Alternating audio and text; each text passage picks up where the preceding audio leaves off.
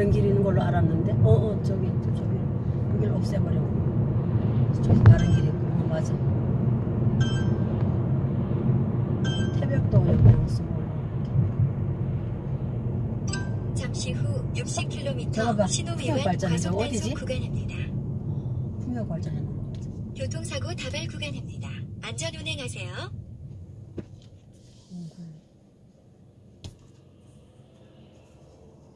건방이네. 어휴. 줄 알았더니 건방이네. 아. 입안 파출소, 방전, 차소.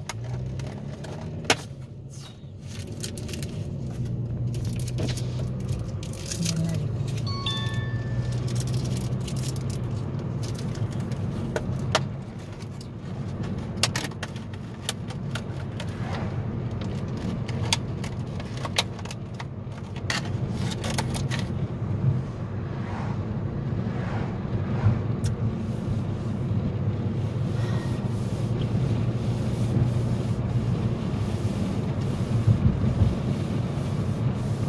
급회전 구간입니다. 안전 운행하세요.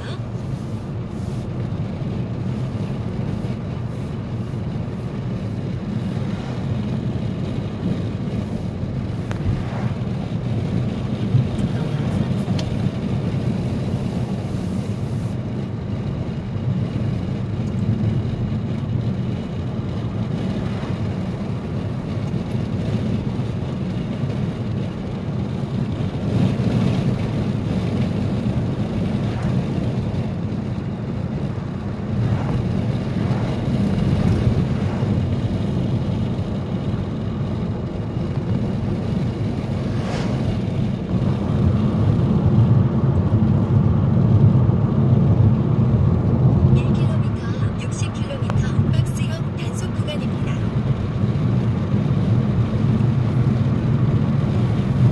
교통사고 다발 구간입니다. 안전 운행하세요. 열을 다 맺네 벌써.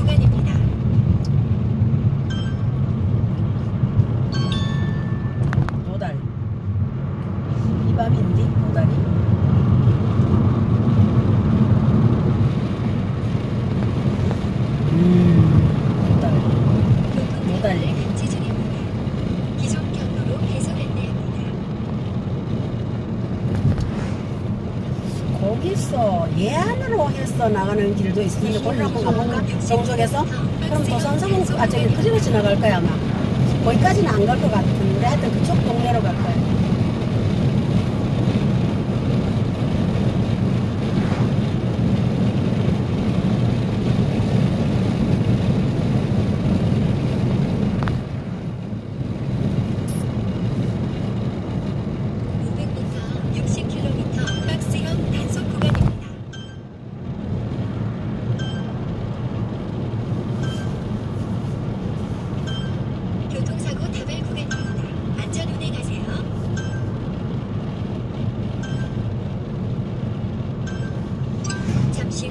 넘어가는 60km 언덕 같은데 여기 이쪽으로. 안내를 하네 팔수골로 안내하나 보다. 그 터널 대놨나 보지